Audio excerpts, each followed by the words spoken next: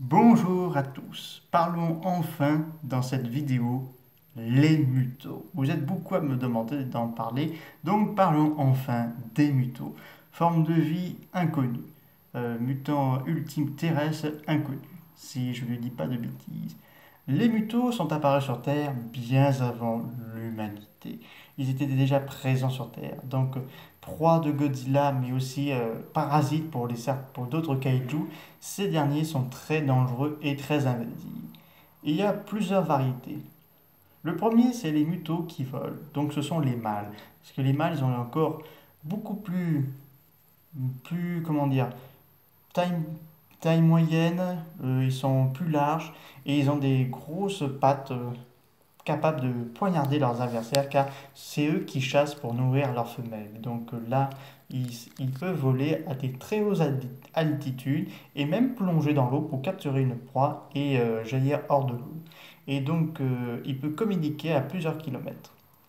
Les plus grandes, ce sont les femelles, ceux qui ne peuvent pas voler et qui, sont plutôt conçus pour la défensive, plutôt que d'attaquer. Enfin, ils attaquent, mais ils, sont, mais ils sont plus lentement et ils sont très agressifs. Mais quand un mâle muto apporte un joli cadeau, elle devient doux comme une femelle muto. Enfin, comme une petite femelle muto. Donc on trouve la reine muto, donc on a vu dans Godzilla 2 King Monster, donc elle possède un petit peu des ornements, encore plus grand que la femelle muto de 2014, et c'est elle qu'elle commande les autres mutos. On a Muto Prime, donc un Muto euh, euh, reine ultime des autres spécimens de Muto. Donc là, c'est elle qui peut, en, comment dire, euh, mettre des parasites dans le corps de ses adversaires pour que les larves de Muto se nourrissent de l'intérieur.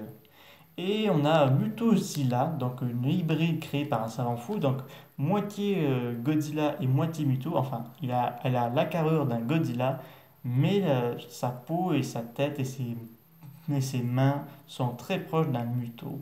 Donc là, cette espèce sont très populaires, enfin par les fans de Godzilla. Donc euh, le premier est apparu en 1999, donc un œuf à éclos, et se dirige vers Jinjira pour hiberner et, se nourrir toute la radiation, pour devenir adulte. Donc le mâle se trouve au Japon, à Jinjira, et la femelle à Las Vegas, enfin dans le Nevada. Donc euh, là, c'est des formes de vie qu'on ne connaît pas vraiment d'où il vient, surtout qu'il possède un pouvoir capable d'électromagnétique, donc euh, arrêter tout ce qui est électrique et tout ça, qui nous font presque penser à Légion dans Gamera 2. Donc là, euh, les mutos n'ont pas trop d'origine. Enfin, Légion en avait une, origine, et eux n'ont pas trop d'origine, ce n'est pas expliqué. Donc ce serait intéressant qu'on ait un film que sur Muto, pour comprendre d'où il vient et que font ici, quels sont leurs buts dans l'équilibre, ça ce serait vraiment très intéressant.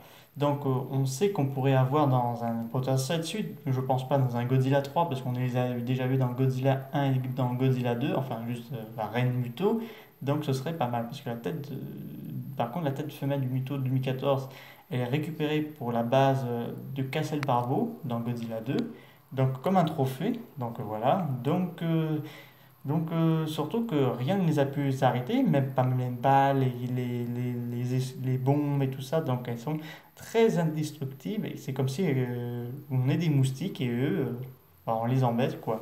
Donc, donc là, ce sont des formes de vie très dangereuses. Donc, alimentaires un peu carnivores, et pas carnivores, mais aussi ils mangent de la radiation. Donc, voilà. Donc les mutos sont une race très invasive et encore heureux que Godzilla s'est tant chargé à l'époque.